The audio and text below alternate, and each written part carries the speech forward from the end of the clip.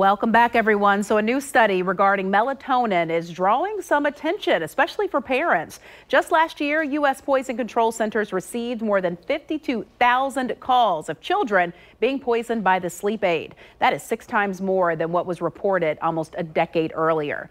Most of those poisonings happening or happened accidentally in children five and younger. This year, 500 calls already to Florida Poison Control were melatonin related, 28 here in Duval County. So jo joining me now is Dr. Chiemela Ubani from the Florida Poison Information Center here in Jacksonville. Thanks for coming in. Thank you. I'm glad to be here. Yeah, you know what's interesting about melatonin, we don't use it in our household, but a lot of people do gummies. They taste good, and you know the kids actually can easily get their hands on it if it's not safe, stored safely. Mm -hmm. So talk to me about, um, you know, how do you know when it's time to give poison control a call? Is it if they had an extra couple or if they have the bottle? Yeah.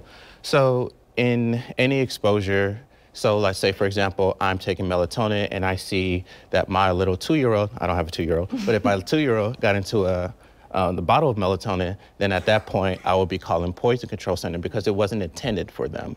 Right. Okay. Mm -hmm. Not not that age bracket. So if a younger child gets their hands on it, that's an immediate call. Let's just monitor what's happening. Yes. Okay. And so you'll report it to the poison center, and then we'll kind of walk you through what type of symptoms you would expect from the melatonin.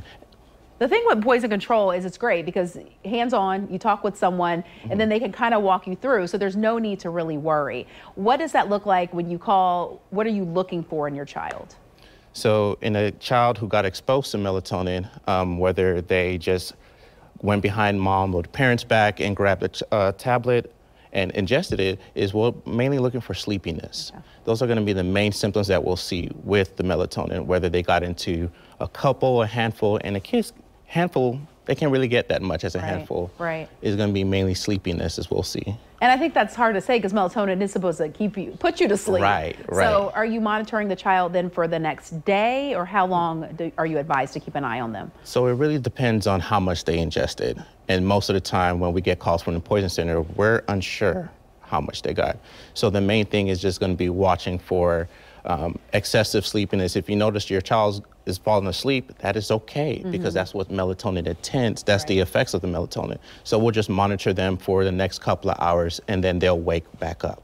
You know, we think as parents that our kids, oh, we put on a top shelf, they're not going to get to it. I've seen mm. my son, when he was little, climb up on the counter and get his hands on things he shouldn't. Right. So you really have to think about that. What advice do you give parents when they're storing products that are natural and mm-hmm. generally mm. are safe unless you consume too much? So the advice we give is to keep stuff locked mm. because especially those gummies because they're attractive to kids. They're like candy. And sometimes kids can get into the melatonins because they they think it's candy.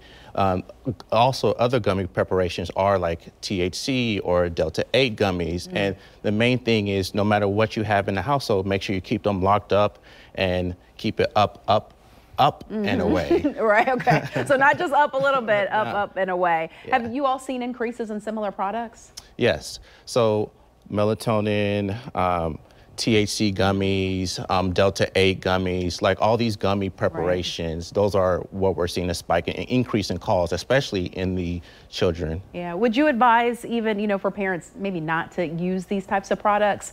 I know my dentist hates the gummies. so I would only advise using it under the uh, purview or a prescription under the doctor's right. purview.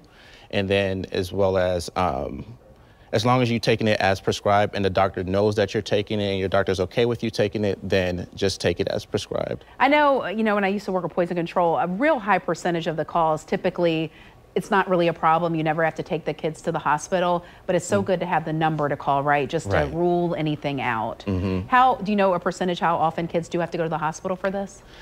Most most of the time, all calls can be monitored at home. Most calls, I wouldn't say all, most calls can be monitored at home. Okay. Um, at least the years that I've been working in the Poison Control Center um, with a melatonin exposure, I have yet to send a kid in from a melatonin okay, Well, that's good to know. But definitely the number's there for you. It's free 1 800 222 1222. So very easy to remember. Give them a call. They're there for you mm-hmm. just to make you feel better about what happened. But in the meantime, up, up, up, up and away. Keep those gummies away from your kids. Thank you for that's coming right. in. No problem.